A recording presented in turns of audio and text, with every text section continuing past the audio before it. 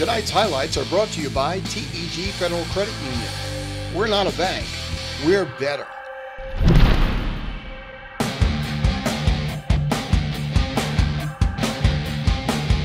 You know, it's really exciting, everything that we're going for. So we're doing our best, myself and Mark, to really focus on continuing practice the way we usually do. But we do have a lot of time left before our next game.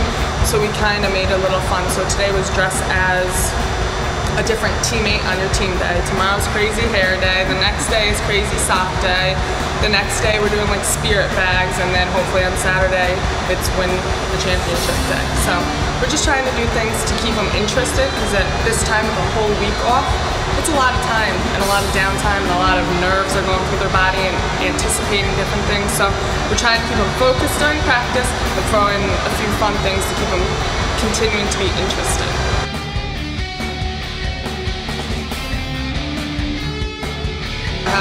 Very talented girls and we've been working really hard and a lot of these girls, this is their fourth year having them. To make history is an amazing accomplishment and something that these girls will remember the experience for, for the rest of their lives.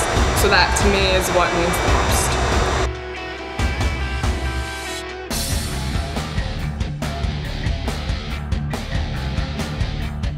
I've been researching a little bit here, a little bit there, and I always tell the girls, focusing on us, that's really all that matters. We focus on what we do best, we go there, we play our game, and that's what's gonna hopefully bring us out on top. Can't focus on the other team at all.